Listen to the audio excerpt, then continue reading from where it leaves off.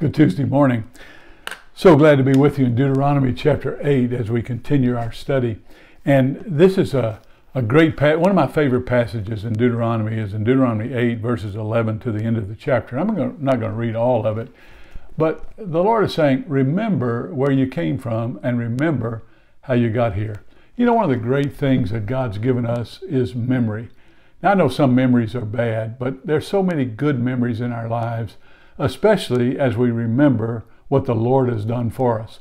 And so, what he's saying to the children of Israel is never forget what I've done for you and how I've brought you along to where you are. And now I'm about to give you the fulfillment of the promises I made to Abraham, Isaac, Jacob, Joseph, the fulfillment of the promise to give you a land of your own. The wickedness in that land is complete. That's what God has said to Moses.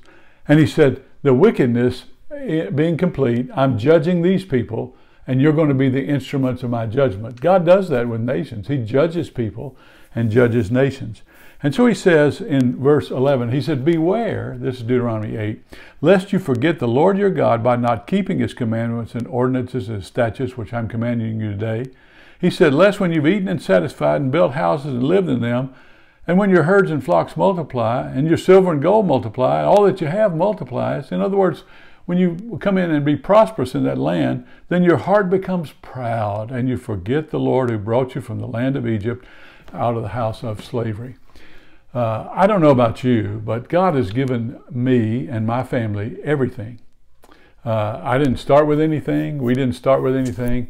And I, even as I look around my house, everything in my house has been provided for by God through the people of God. It's amazing. That's one of the blessings of being a pastor for all these many years the people of God that God used to support me and my family, I, I just can't forget that. Oftentimes we can say, well, I did this and I did this, I've been successful.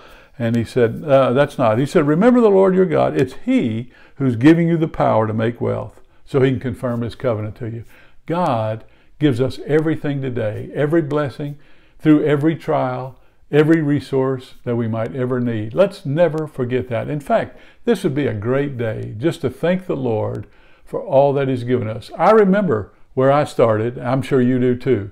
I remember when I began as a, as a young person, as a college student, seminary student, uh, young married, all, all of these things. And, and, and I have to say, God, you did it all. You gave me every opportunity, gave me the strength, the wisdom, the power uh, to do all of this that I've done. I've done nothing in my life significant that you didn't have a great hand in. Let's thank the Lord today and remember Him. Don't forget Him. Heavenly Father, we thank you today for your gracious guiding hand through the years.